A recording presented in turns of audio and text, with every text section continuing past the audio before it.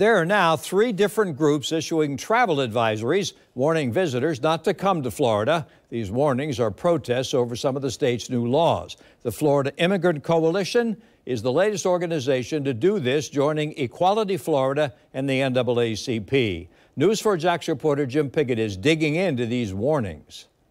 So I'm here in St. Augustine, one of the most popular tourist spots in North Florida, asking people how did they feel about these advisories. And the reaction we're getting is they don't seem to be concerned at this point. No, we've always heard Florida's wide open and free, so we like it down here. But not everybody believes that's the case. I think it's a concern for everyone. I mean, really. I mean, this sounds like we're going back 50 years. Some are watching closely what's happening in Tallahassee.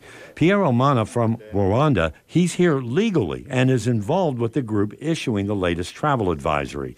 He says the state may not be safe for any immigrant. I'm very concerned that this bill uh, that is promoted by the governor, DeSantis, is, is going to harm, you know, not only immigrants, but also the rest of the community in, in general. That's because if approved, it would be a felony for anyone hiding or transporting an illegal immigrant, and it would require hospitals to report an immigration status. What do you tell when you, when you hear that? Like, well, they're they're illegal. They, they they should not. They shouldn't be here. Everyone is here because there is a reason why they are here. No one chooses to to flee no one chooses to be, uh, you know, a, a, a, refugee or an immigrant because they are here. There is a reason why, you know.